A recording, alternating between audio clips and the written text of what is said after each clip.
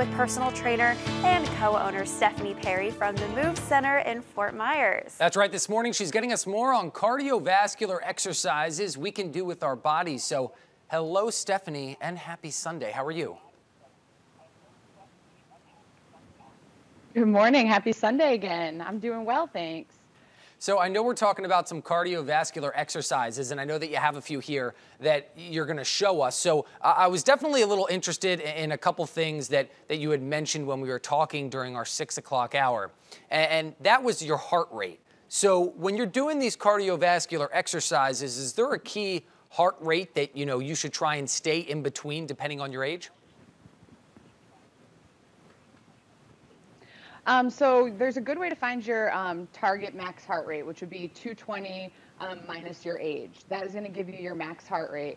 Um, depending on what your goal is, um, if your goal is to burn fat, then you want to be about 60% or 70% of that number. So 220 minus your age times 60 or 70%, depending on um, where you want to be. Um, so that's a good kind of um, tool to use to make sure your heart rate's in a good range. And also, when you're doing these exercises or doing any kind of high intensity interval training, um, your rest time is really short. So you never really want your heart rate to drop too, too much. Like you can catch your breath for a few seconds and then you're going to get right back into it. So you're going to keep that heart rate up in the, that fat burning zone for a decent amount of time, preferably your whole workout.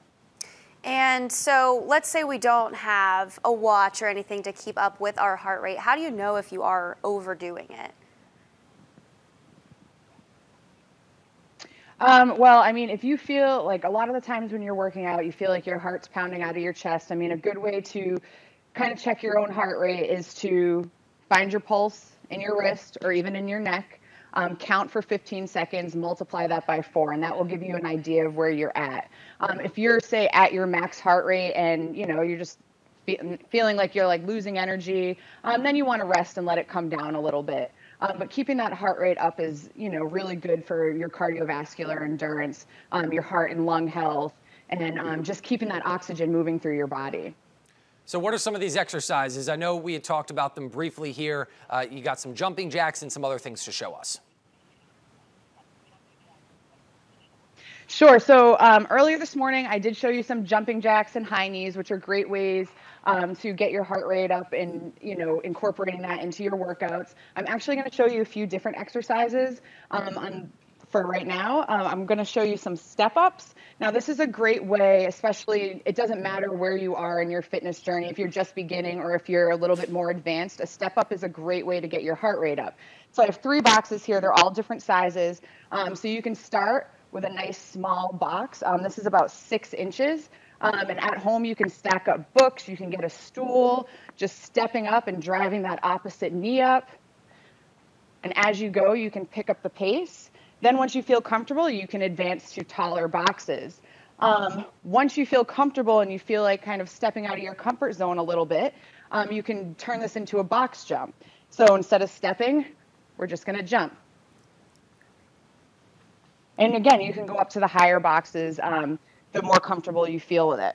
Um, another thing I'm going to show you are toe taps. Again, these can be modified, scaled way down, or they can be uh, made to be a little bit more difficult. So if you're just beginning, you can do things just by tapping your feet on a ball. And then if you want to pick it up a little bit, now you just add that little bit of hop in there and get those arms going as well. This you'll notice is going to pick your heart rate up really, really fast. Um, so anything that you're going to do that's going to get that heart rate increased, um, those are going to be perfect little exercises to add into your workouts. Be creative with it because anything can turn into a cardio exercise. Now, Stephanie, we have a lot of things here. So for individuals, we had talked about it in the past, in the months past. If they don't have a box at home or if they don't have, you know, a medicine ball or something like that, what are some common household items that people can use in order to kind of keep that cardiovascular exercise, you know, going and really make it a routine in your everyday life? Mm-hmm. Um, if you have any kind of uh, steps or stairs, I know there's not a whole lot of stairs in Florida, um, but anything that you can step up on, you can Um, stack up a pile of books, um, magazines, um, if you have a little step stool at home, anything that's going to give you, even if it's just a few inches, you can make that few inches really difficult. If you feel like it's too easy to step up, and like I said, start jumping up on it. Um, so it doesn't have to be anything crazy or anything too high. Just look and see what you got around the house and uh, just try to make do with what you have. Now, we always want to thank Stephanie Stephanie Perry, co owner of the Move Center here in Fort Myers, for your time this morning. And if you'd like to get some more information or to get in touch with Stephanie from the Move Center, you can shoot her an email. The email address is listed here right on your screen. You can get some healthy tips, personal training, and a lot more. But please note it is by appointment only.